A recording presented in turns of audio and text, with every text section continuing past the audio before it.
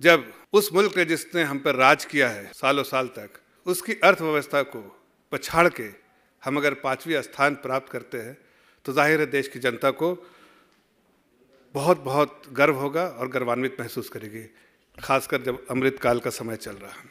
आज जब देखते हैं कि देश की अर्थव्यवस्था को तो देश की अर्थव्यवस्था और भारत, ऐसा लगता है सिनोनिम है।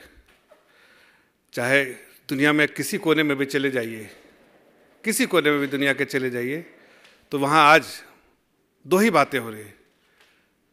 भारत ने चंद्रयान की जो सफलता है भारत का, उसके बारे में पूरे दुनिया में चर्चा है, जो सेफ़ लैंडिंग और बहुत बड़ी सफलता है, उसके बारे में दुनिया में बहुत चर्चा है, और दूसरी भारत की अर्थव्यवस्था के बारे में बहुत चर्चा है। हमने देखा है कि पिछले कुछ सालों में हमारी सरकार आज साढ़े नौ साल से है, उस पर, उस पूरे कार्यकाल में हमने बहुत अच्छे फैसले लिए, बहुत कड़वे फैसले लिए, लेकिन हमें बहुत कठिनाइयों का भी सामना करना पड़ा, ऐसे हालात आए। जैसे कोविड हो, महामारी जैसे हालात आए, जब लॉकडाउन हुआ, इकोनॉमिक एक्टिविटी बिल्कुल पूरे दुनिया में बंद हो गई, हिंदुस्तान में भी बिल्कुल ख़त्म हो गई थी।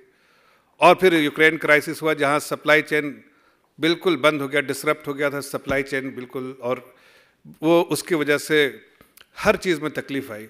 ये दोनों कठिनाइयों के बावजूद भी आज जो भी फैसले लिए आदरणीय प्रधानमंत्री जी ने पिछले नौ, साढ़े नौ साल में, आज देश की अर्थव्यवस्था बहुत मज़बूत है। मज़बूत ही नहीं बहुत तेज़ी से जो है अर्थव्यवस्था जो है दौड़ रही है और दुनिया में जो सबसे अच्छी उभरती हुई इकोनॉमी, ब्राइटेस्ट स्पॉट जो है वो भारत है। आप उसके आंकड़े, पचास वो आंकड़े ऐसे हैं जिससे लोग कह सकते हैं कि देश की अर्थव्यवस्था, हिंदुस्तान की अर्थव्यवस्था जो सबसे अच्छी है।